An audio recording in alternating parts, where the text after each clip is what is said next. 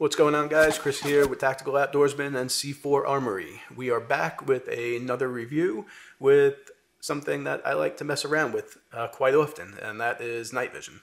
Now, um, what I have is not something that you're going to uh, go ahead and run and gun with.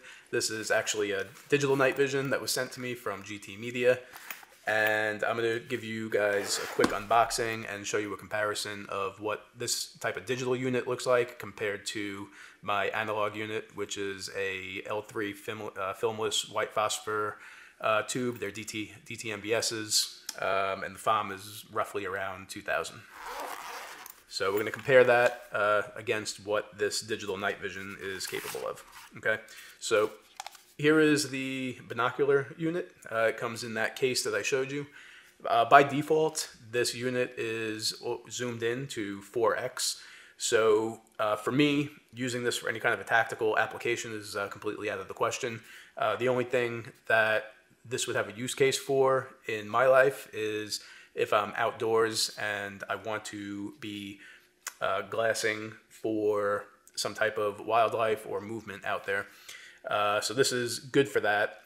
Uh, definitely not good for tactical use because uh, as you can see, uh, there's two lenses here. One of them is to look through and the other one is for an IR illuminator, which uh, gives off a bright red glow. So there's, um, once we get into this, we'll talk about the brightness settings and what this can do. what is cool about this unit is that it is rechargeable. Okay, so you have a little charging port here. Okay, USB-C, and it also comes with a SD card. So it's kind of good to go right out of the box. You can just fire this thing up and uh, start looking at things far away with a 4x zoom. And you can also take pictures and record through that, which is really cool. All right, uh, also in the box, uh, you get a, a little bag here.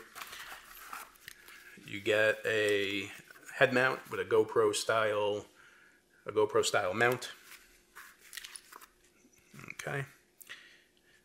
You get a USB stick with a slot in the back to put in your SD card, so you can put that into your computer to get the media off of the unit. Okay, uh, comes with a little neck lanyard.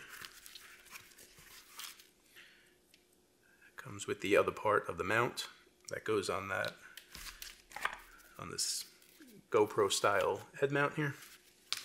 Uh, comes with a charging cable, USB-C, USB-A, and a cleaning cloth, and your direction manual. Okay. There are some other small accessories in here. Uh, so, whoa, whoa. so uh, some screws for mounting that up to the to the head mount.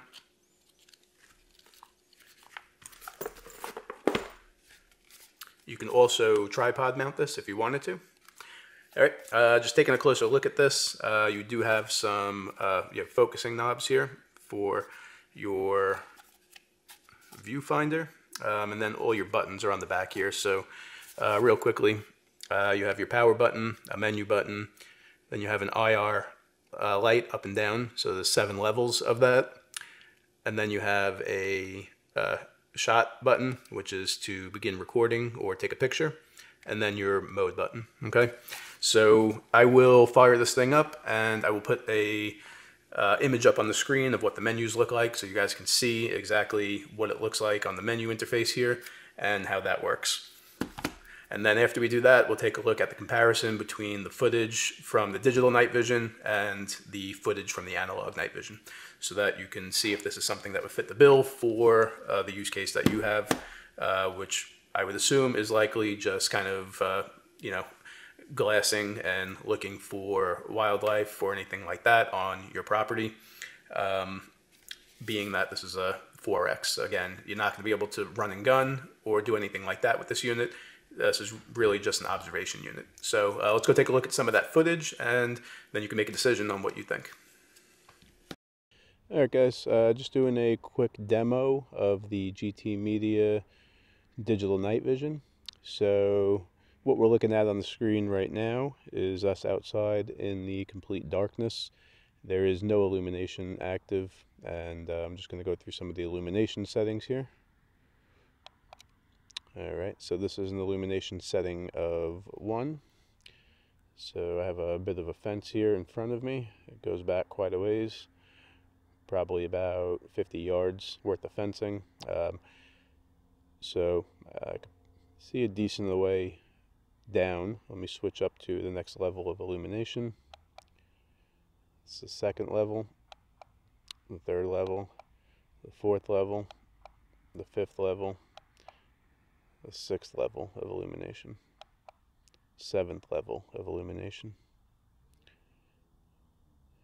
All right, very difficult to see the trees at the end of the fencing, which is about 100 yards away.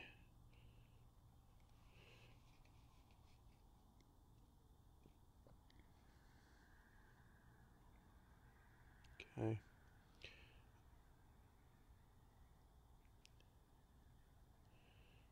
There are some trees out. There's about three quarters of a moon. You can see the trees back there. That's about 200 yards. Uh, but I can't see anything down at the base of the trees at all. All right.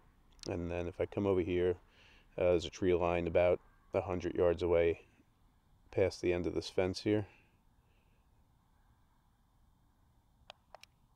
All right, that's illumination off.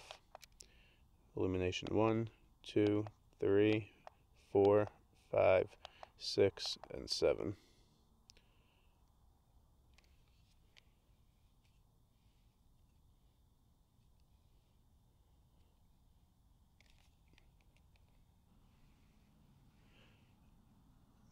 Some trees out in the distance. That's probably about 50 yards. That's probably about 40 yards.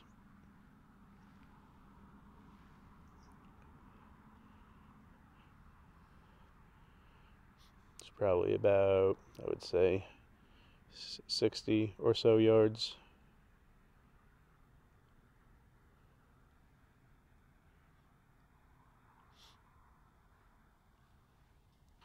All right, so just for comparison purposes, sorry, I have a little moisture on the front of my lenses here.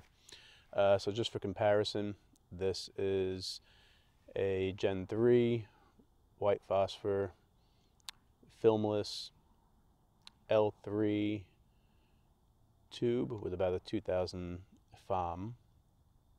This is regular night vision. There's the three quarter moon and a bunch of the other trees that I was looking at through the GT Media digital night vision. Now you can tell things obvious, obviously look uh, a lot better through the real night vision as opposed to the digital night vision. Uh, the digital night vision is zoomed in by default uh, to, I believe it's a 4x. So it's very difficult to get a depth perception of how far away things are. But you can see this is the fence I was talking about that goes out about 50 yards. Uh, and then the tree line out there, I'll designate that with a laser pointer. So out there, probably about 200 yards. Not probably, um, it's 200 yards I've uh, measured. Okay. So where you couldn't visibly see really the end of the fence with the digital night vision, you could see that very clearly through the regular night vision, uh, as well as the tree line, uh, the moon, and even out there at the 300 yards where that tree line is where I'm looking. So just a quick comparison between the digital and regular night vision. So uh, that digital night vision is definitely usable, uh, but I think the use case for that is really to be out and looking for things at night that are within a relatively close distance. Um, in, definitely inside of 100 yards. I would probably say 75 yards would be the max that you're going to be able to get out of that. And it's not not even a very dark night. There's uh, a whole bunch of moonlight out that is aiding in throwing illumination down for both the digital and the non-digital or analog night vision. So just one more time, uh, let me just turn off the analog night vision and go back to the digital and show you the difference here of what we're looking at on this fence line. All right, so here we are back on the digital night vision, the GT Media. here's the fence that's right next to me that runs down about 50 yards. You can tell obviously it's very zoomed in, but you really can't get you really can't quite get down to the end of the fence with this. Let me turn up the illumination here all the way to 7. So uh, this is the maximum illumination here.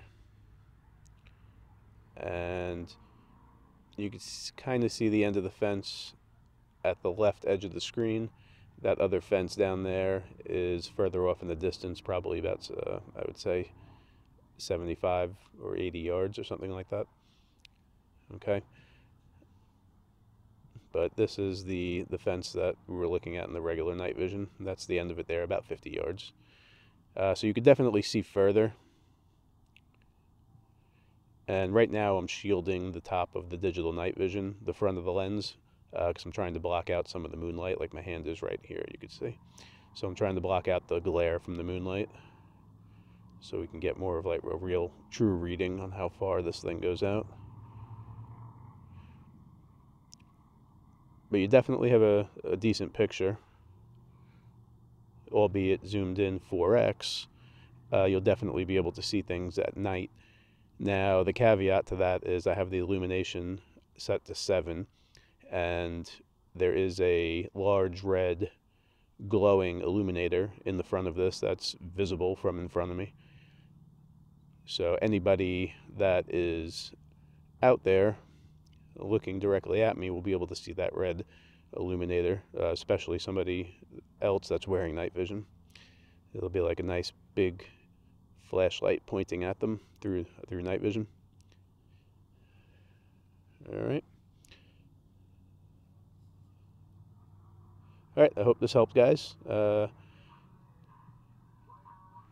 good luck in choosing a night vision that's going to work for you.